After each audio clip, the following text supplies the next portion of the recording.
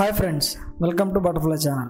ఈరోజు మనం ఒక కంబైన్డ్ అడ్వర్టైజ్మెంట్ గురించి తెలుసుకుందాం. ఈ అసలు ఏంటి కంబైన్డ్ అడ్వర్టైజ్మెంట్ అంటే?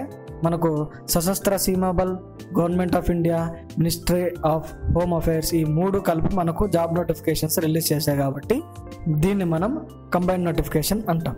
ఈ నోటిఫికేషన్లో మనం జాబ్ వేకెన్సీస్ ఎగ్జామ్ ఫీజు ఎంత ఏజ్ రిలాక్సేషన్ ఎంత క్వాలిఫికేషన్ ఏంటి ఎప్పటి నుంచి అప్లై చేసుకోవచ్చు అనేది మనం ఇప్పుడు తెలుసుకుందాం. ముందుగా శాలరీ విషయానికి వస్తే మనకు పే లెవెల్ త్రీ ఇది బేసిక్ పే అనేది ఫిక్స్ చేశారు అంటే twenty one thousand seven hundred to sixty nine thousand one hundred rupees మధ్యలో మనకు బేసిక్ పే అనేది ఫిక్స్ చేస్తారు.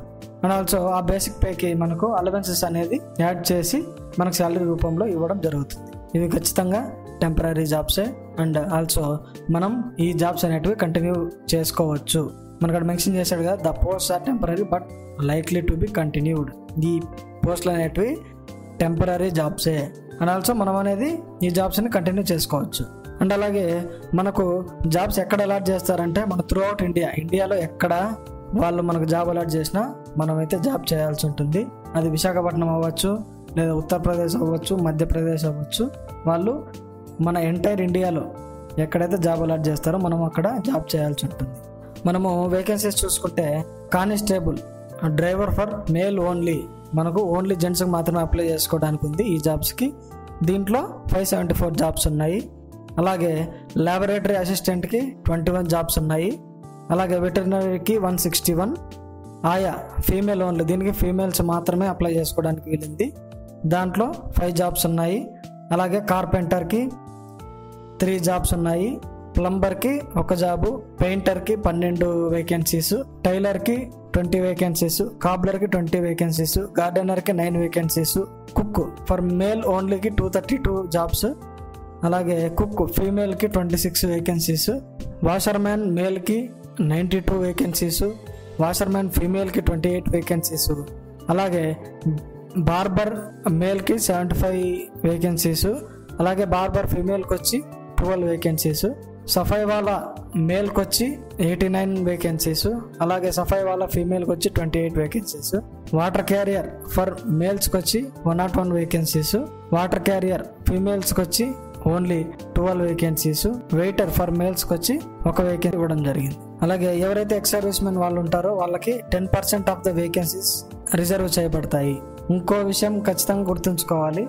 ఈ పైన తెలిపిన సిక్స్టీన్ జాబ్స్లో మనం ఏదో ఒక జాబ్కు మాత్రమే అప్లై చేసుకోవాలి. ఇక్కడ మనకు బాగా క్లియర్గా మెన్షన్ చేశాడు. A candidate can apply only for one post from among these the post as mention above అలా కాకుండా మనము అన్నిటికీ ఎలిజిబులే కదా అని మనము రెండు మూడు జాబ్స్కి అప్లై చేస్తే మన అప్లికేషన్ వాళ్ళు రిజెక్ట్ చేయడానికి చాలా అవకాశాలు ఉంటాయి. ఎలిజిబిలిటీ చూసుకుంటే ఫస్ట్ డ్రైవర్ ఫర్ మేల్స్కి వచ్చి వాళ్ళకి ఏజ్ ఎంత ఉండాలంటే twenty one to twenty seven years tenth pass అయి ఉండాలి. వాళ్ళ దగ్గర ఖచ్చితంగా హెవీ వెహికల్ డ్రైవింగ్ లైసెన్స్ అనేది ఖచ్చితంగా వ్యాలిడ్లో ఉండాలి. అలాగే laboratory అసిస్టెంట్కి eighteen to twenty five years ఉండాలి. వాళ్ళు ఖచ్చితంగా టెన్త్ పాస్ అయి ఉండాలి. With science from a recognised board. ఆంధ్రప్రదేశ్లో తెలంగాణలో చూసుకుంటే మనం ఖచ్చితంగా టెన్త్ క్లాస్లో మనం సైన్స్ సబ్జెక్టు చదువుంటాం కాబట్టి సో ప్రాబ్లం లేదు. అలాగే should have certificate in laboratory assistant course. అంటే మనకు ల్యాబొరేటరీ అసిస్టెంట్ కోర్సుకు సంబంధించి సర్టిఫికేట్ కంపల్సరీగా ఉండాలి.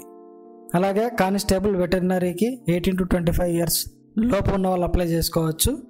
ఎసెన్షియల్ ఎడ్యుకేషనల్ క్వాలిఫికేషన్స్ ఇవి ఖచ్చితంగా ఉండాలి. అదే tenth with science as main subject from a recognised board or university. డిజైరబుల్లో ఏమడిగాడంటే one year experience in treatment of different species of animals constable అయ్యాకైతే eighteen twenty five years age ఉన్న వాళ్ళు apply చేసుకోవచ్చు. Tenth క్లాస్లో science subject అనేది ఖచ్చితంగా చదువు ఉండాలి. అలాగే వీళ్ళ దగ్గర ఖచ్చితంగా first aid examination pass certificate ఉండాలి. అది ఎక్కడి నుంచి అంటే రెడ్ క్రాస్ సొసైటీ నుంచి వాళ్ళు ఆ సర్టిఫికేట్ అనేది పొంది ఉండాలి.